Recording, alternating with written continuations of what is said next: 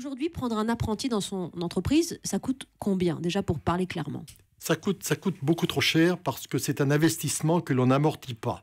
Mmh. Euh, un jeune, lorsqu'il a fini sa formation initiale, part dans une autre entreprise et le temps de sa formation et surtout de l'accompagnement de ce jeune coûte très très cher. Parce que la personne qui l'accompagne, elle ne produit pas.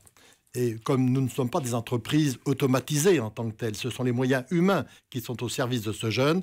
Et naturellement, le coût est très élevé. Bah, elle ne produit pas. Quand on prend des, salons de coiffure, par exemple, où les apprentis, on envoie Henri Bambel, ils sont là, ils font des shampoings, ils s'essayent au coupe. Pourquoi ne produisent-ils pas euh, dans d'autres métiers, peut-être? Non, dans beaucoup de métiers, il y a toujours des exceptions, bien évidemment. Mais le jeune n'a pas vocation à produire dans une entreprise lorsqu'il arrive il faut déjà qu'il découvre l'entreprise, qu'il découvre le métier en tant que tel. Il peut être amené à effectuer quelques tâches en tant que tel, mais surtout aucune responsabilité. Et ce jeune n'est surtout pas un jeune travailleur. C'est mmh. un jeune qui, qui découvre cette entreprise, donc, et l'accompagnement qui est nécessaire si nous voulons aboutir à une réussite, parce que l'objectif, c'est de réussir en tant que tel. Mmh.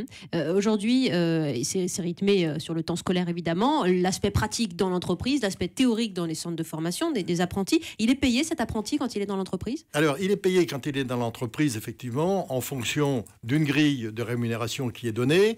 Euh, et il est payé mensuellement, qu'il soit dans l'entreprise ou qu'il n'y soit pas, puisque une partie est 13 semaines par an, mmh. il est en dehors de l'entreprise. Bon, là, on, regarde un petit peu le côté négatif des choses, mais je vais vous donner euh, une tendance qui nous incite quand même à l'optimisme. C'est une voie royale vers l'emploi, l'apprentissage. 70% des apprentis ont un emploi 7 mois après leur formation. C'est quand même incroyable.